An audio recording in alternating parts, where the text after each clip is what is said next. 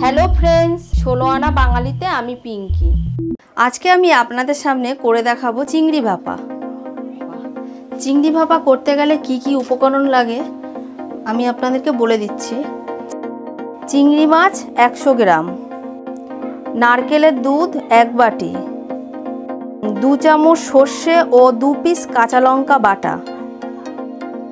ছ পিস কাজু বাদাম বাটা স্বাদ মতো নুন হাফ চামচ হলুদ এক চামচ চিনি দুটি কাঁচা লঙ্কা ফোড়নের জন্য একটি শুকনো লঙ্কা আর হাফ চা চামচ কালো জিরে। সর্ষের তেল পঁচিশ গ্রাম। তাহলে আজকে আমি শুরু করছি চিংড়ি ভাপা। চিংড়ি ভাপা করার জন্য আমি চিংড়ি মাছগুলো এই বাটিতে দিয়ে দিচ্ছি।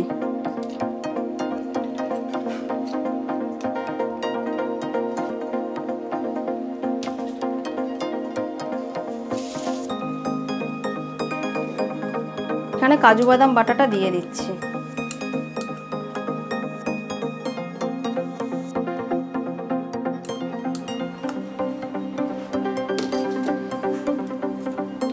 সর্ষে বাটাটা দিয়ে দিচ্ছি।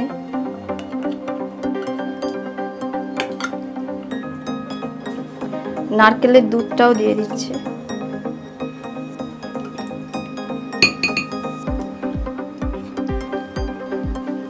স্বাদ মতন নুন, পরিমাণ মতন হলুদ, স্বাদ মতন চিনি।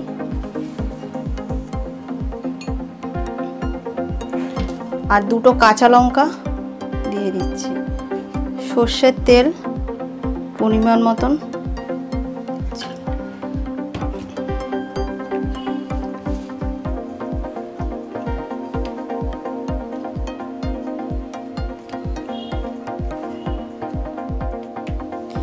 মেখে মিনিট পাঁচ মিনিটের জন্য রেখে দিতে হবে।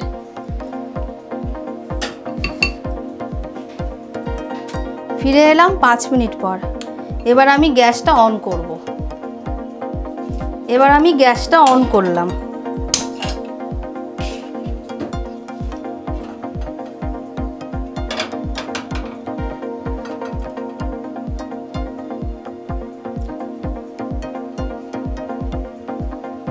গ্যাসটা অন করে সামান্য একটু তেল দিলাম।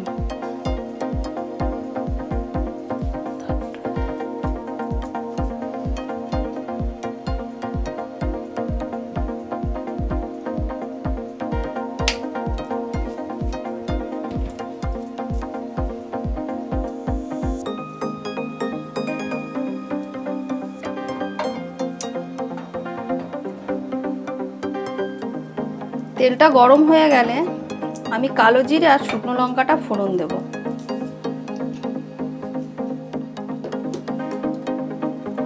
তেলটা গরম হয়ে গিয়েছে। একটা শুকনো লঙ্কা মাঝখান থেকে ফাটিয়ে দিয়ে দিলাম।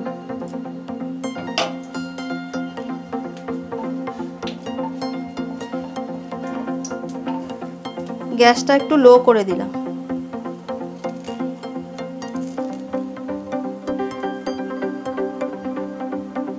সামান্য পরিমাণে কালো জিরে দিলাম।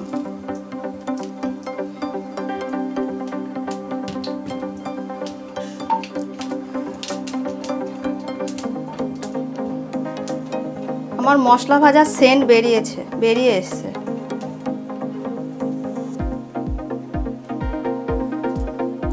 এবার আমি আগের থেকে চিংড়ি মাছটা মেখে যেটা রেখে দিয়েছি, ওটা আমি কড়াইতে ঢেলে দিলাম।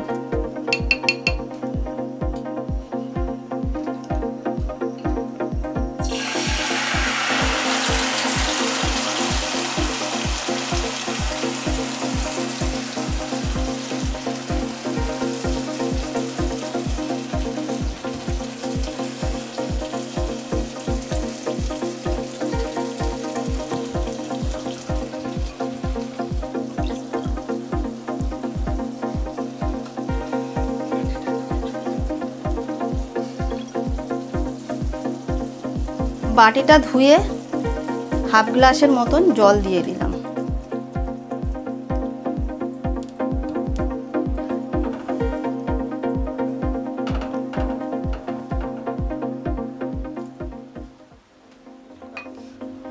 গ্যাসটা লো করে মিনিট দশেকের জন্য ঢাকা দিয়ে দিলাম। ফিরে এলাম দশ মিনিট পর।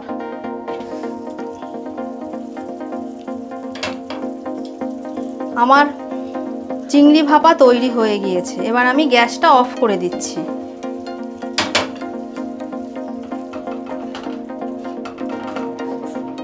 আচ্ছা সুন্দর গন্ধ বেরোচ্ছে। এবার আমি এবার আমি নামিয়ে নিলাম। দেখুন, কালারটাও খুব সুন্দর হয়েছে।